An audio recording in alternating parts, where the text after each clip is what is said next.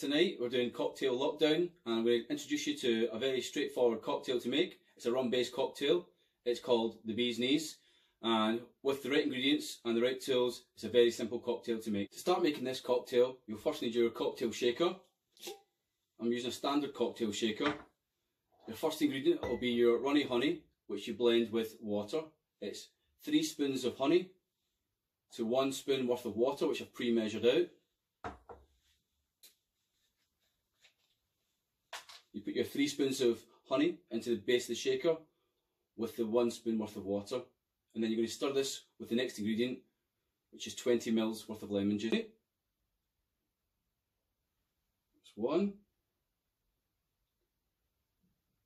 two, and three.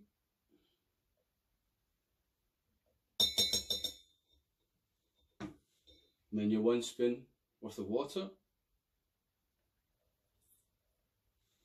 Now if you're very organised, what you'll do is, especially if you're doing it with more than one person, is pre-arrange and order all the ingredients you need in advance, which means there's less effort when it comes to making the cocktail. So I've already pre-squeezed my lemon juice, which I'll add now. And the lemon juice, we're just putting in 20 mils worth of that. And what you want to do is blend the honey and the lemon juice until it all dissolves at the base of your shaker using your bar spoon.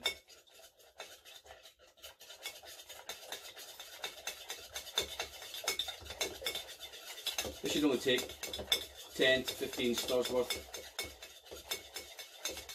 And that's perfectly blended now.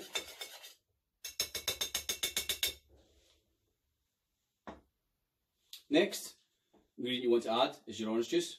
15 mils worth of orange juice. Again, freshly squeezed orange juice, not from concentrate. If you've got fresh oranges, even better. It's going to make the drink taste that bit more fresher than it would do with even using fresh orange juice. Add that.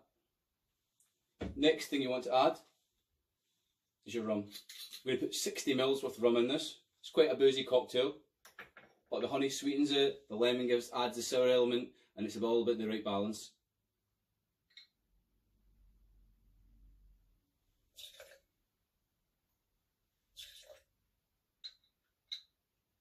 If you were to use another rum, like Havana rum, then it's called a honeysuckle martini or a honeysuckle daiquiri.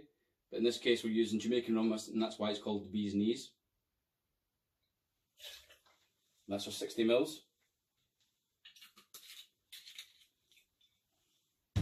After that, you want to add ice. Probably the most common one you're going to be able to get a hold of is cubed ice. I like to make my own ice at home, and I've got these large spheres, which are rather good. Just drop that into your shaker. Once you've added your ice, cubed ice, or an ice cube like the one I use, the sphere ice cube, add into your cocktail shaker with all the ingredients and make sure you give it a really thorough shake, maybe 10 to 15 shakes quite hard.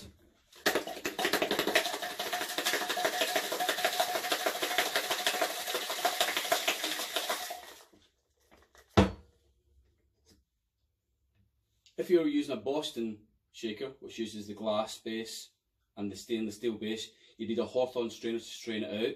However, because it's a stand shaker with a strainer built in, the only thing you're going to need next is your fine sieve, which is what you're going to pour your cocktail through. Just make sure there's no small fine bits of ice that get in or any pulp.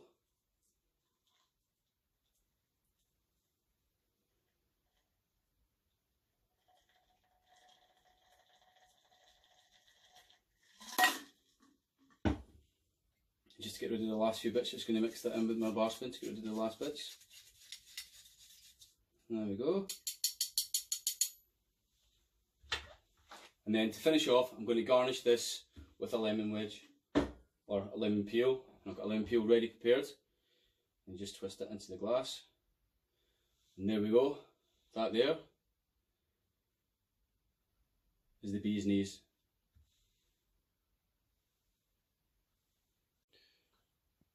Here's to fighting, stealing and drinking. If you fight, fight for a friend. If you steal, may you steal a lover's heart. And if you drink, please drink with me.